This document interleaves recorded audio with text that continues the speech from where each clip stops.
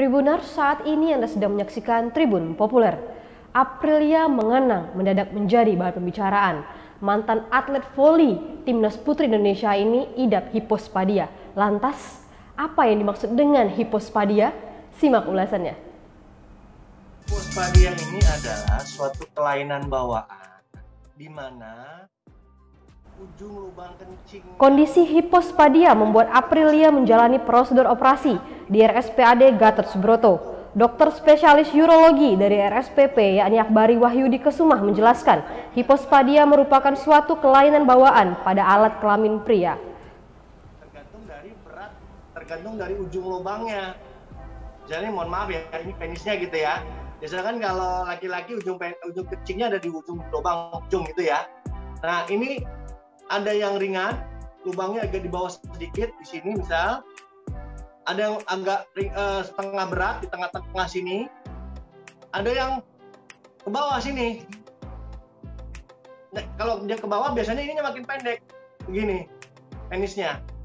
Gitu.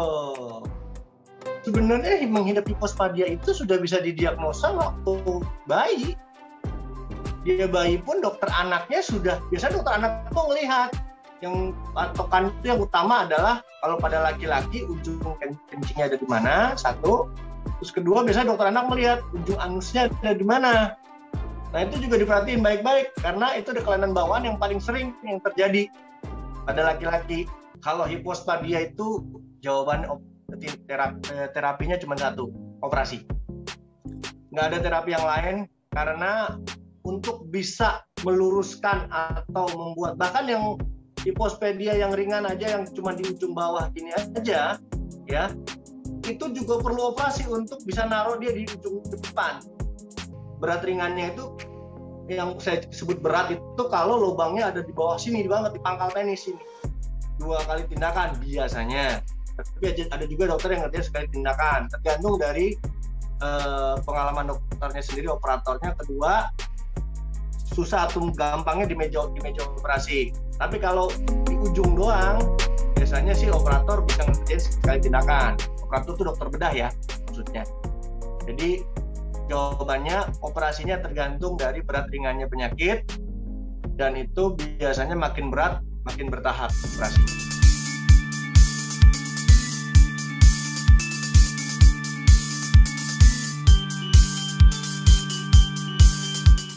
Sekian Tribun Populer untuk saat ini. Saya Rizky Fadriani dan juga kru yang bertugas mengucapkan terima kasih. Sampai berjumpa di Tribun Populer berikutnya.